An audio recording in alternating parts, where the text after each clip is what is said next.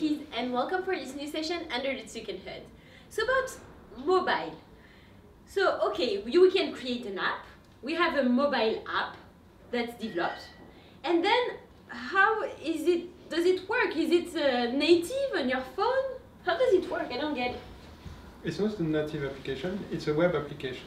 Okay. You can add it to your home screen uh, with a feature which are built in your, your mobile phone. So it, Okay. it does look all the, all the same as a native application, except um, it's a web application, so it uses all the intelligence which is built in your uh, mobile phone web browser Yeah. to, to, to be fast, to be responsive, and, and to be a, a very nice uh, application.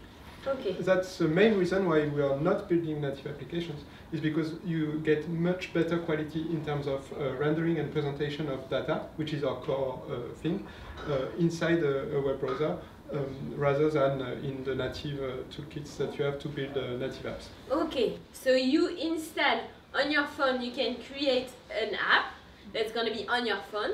It's gonna go inside the web all the time, but it's still an app, and so the user interface and the user experience is optimal. So this is why you made that choice, right? Yes, and also it's much simpler for your IT team to deploy on everybody's mobile.